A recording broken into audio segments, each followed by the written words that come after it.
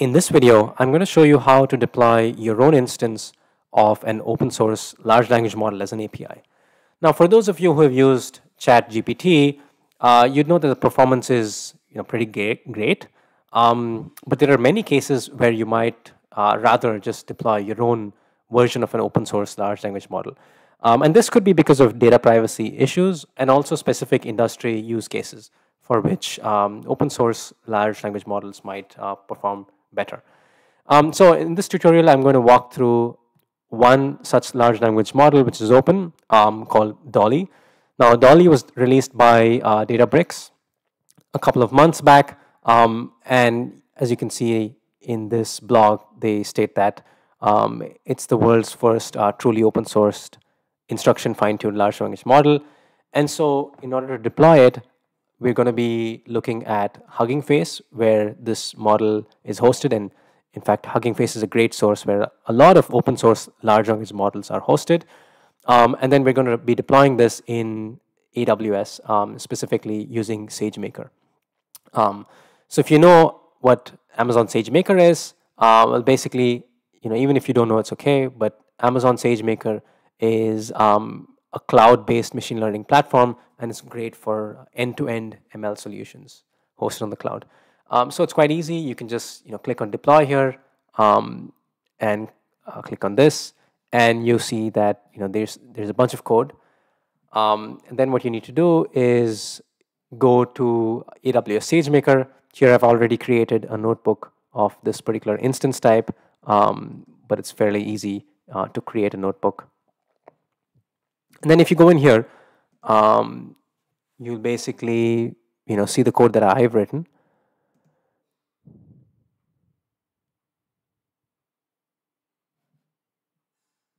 Where you see, um, let's go here. Um, so this is basically you know deploying this Dolly V2 seven billion parameter model. Um, and then there is a few parameters that I've changed. One of them is the instance type. Um, so if you go back here, you'll see that the in instance type here is, you know, this ml.g5.2x large, which is basically a GPU. Um, but uh, I did not have access in my SageMaker, uh, in my AWS, to this type of model. So I had to use this other model, which, you know, it's the same thing, but it's just like, um, I believe it's an older type of uh, um, CPU. Um, and then I changed the container start up startup health checkout uh, timeout to 3,600 seconds so that it doesn't uh, time out. So now basically, you know, you can run this entire code um, and it'll take a couple of minutes. So I'm just going to pause the video right now and then resume once this is done.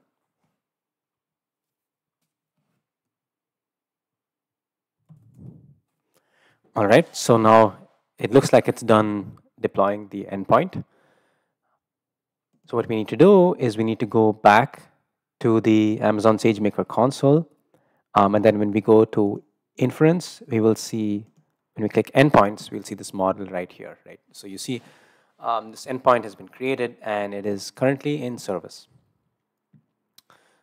Next, what we need to do um, is we need to go to this AWS console and then click on Lambda to create uh, a serverless Lambda function. All right, so now we go to create function.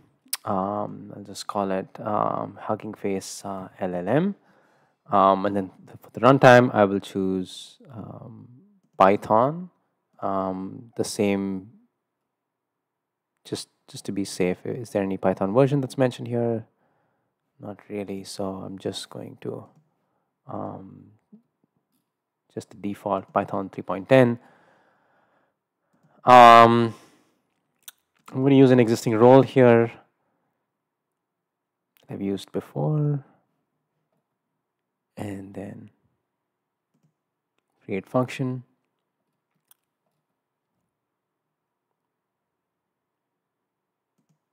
Okay. Um, so the function is important here, and the function basically is the one that calls the endpoint. Um, so I'm going to basically copy this function that I have, uh, paste it here, um, and then I'm going to go to configuration, add the endpoint name here.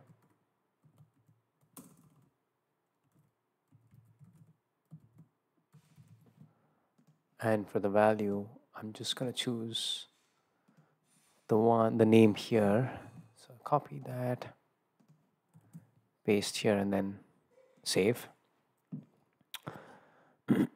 okay, what else do we need?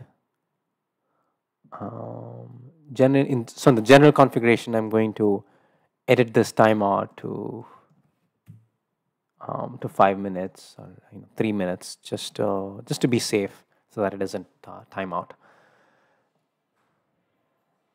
And then I'm going to go to test. So for testing, let's basically look at the format. So there's inputs. Um.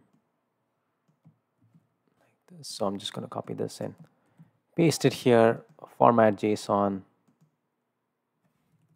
Just going to call this as trial. Remove the comma. Um, then test. Okay, right. So I this is a common mistake. I didn't um, uh, deploy this. So you deploy it. Okay, and now we can test it again. Succeeded. My name is Julian and I like to write about software, hardware, blah, blah, blah. Okay, great.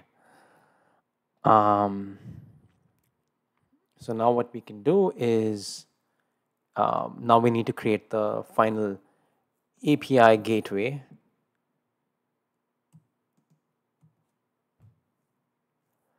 to connect and to call and uh, the Lambda function. So I'm going to build a REST API.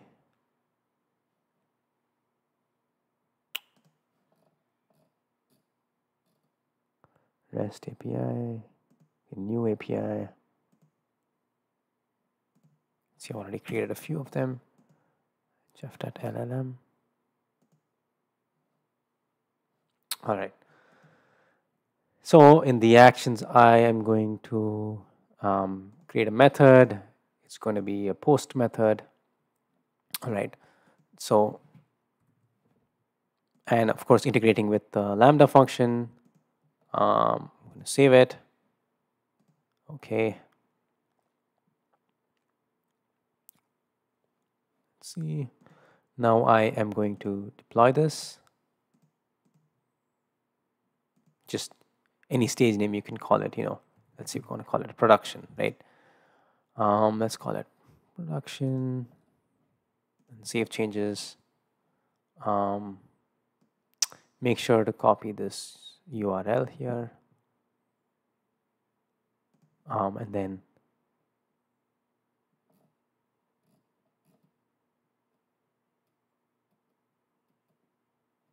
we can save it as yeah, this URL right here.